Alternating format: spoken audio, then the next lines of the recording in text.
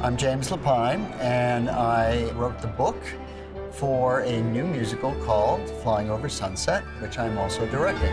Flying over sunset, falling such a long way down. Flying Over Sunset uh, takes place in the 1950s, primarily in California, and centers on three people Cary Grant, the very famous movie star, Aldous Huxley, the British author of a very well known book called Brave New World, and Clare Boothe Luce, who was a congresswoman from Connecticut for two terms and also the ambassador to Italy.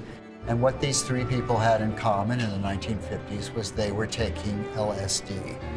LSD was not illegal and it was very much under the radar. Most people think of LSD as having been in the 60s with Timothy Leary, but actually in the 50s it was taken uh, in a much more seriously, not as a form of entertainment, but as a means to exploring the world and exploring yourself. Everything is based on fact, basically, in the first act. And then in the second act is a kind of invention of mine. Clare Boothe Luce rents a beautiful estate in Malibu, uh, where she invites Cary Grant and Aldous Huxley to spend an afternoon experimenting with LSD. What's interesting about these people is they're not young. They're, for their time, middle aged, and they chose to do LSD later in life when they had some wisdom, when they were asking the big questions. So they were each at a point in their lives where they were trying to figure out who they were and what they were going to do with the rest of their lives.